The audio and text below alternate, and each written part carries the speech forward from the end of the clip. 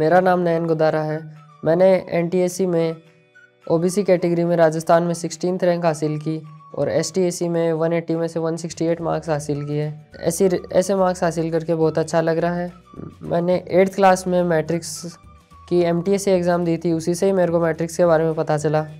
फिर मैंने evening programme join किया। नाइन्थ क्लास में इवनिंग प्रोग्राम में मैंने पढ़ाई की और फिर मेरे को मेरे, अपने आप में कई इम्प्रूवमेंट दिखे। उसके बाद मैंने टेंथ क्लास में मॉर्निंग बैच में एडमिशन ले लिया। हमें एन की तैयारी कराई गई। बहुत अच्छे से तैयारी कराई गई। रेगुलर टेस्ट होते थे एक दो वीक में। एस एस पे मेन फोकस रहा एन में। एस एस टी की रोज़ क्लास लगती थी और रिवीजन कराया जाता था बार बार। N stage one state board के द्वारा कराई जाती है। इसमें 200 सवाल आते हैं। 100 सवाल मेंटल एबिलिटी के होते हैं और 40 सवाल एसएसटी के।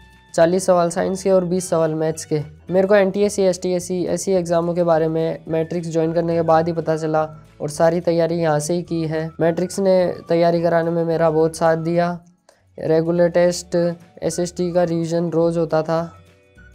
मेरे फेवरेट टीचर हमारे एसएसटी के सर विक्रम सर थे। उन्होंने हमें, हमारी पूरी एसएसटी की तैयारी करवाई। पहले एन तक आर की क्लास नाइन्थ और टेंथ की एसएसटी पढ़ाई पूरी।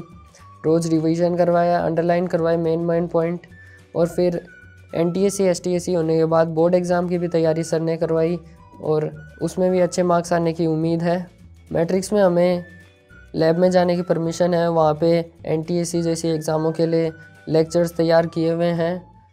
हमारे रेगुलर टेस्ट होते थे एन पैटर्न पे, उसमें एकदम एन जैसे क्वेश्चन आते थे, और वैसा ही माहौल रहता था।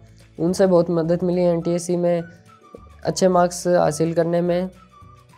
और मैं जो बच्चे एन की तैयारी कर रहे हैं, उनको ये एडवाइस देना चाहता हूँ कि रेगुलर रिवीजन करना होता है। एसएसटी जैसे सब्जेक्ट रेगुलर रेगुलर रिवीजन करने से ही आते हैं।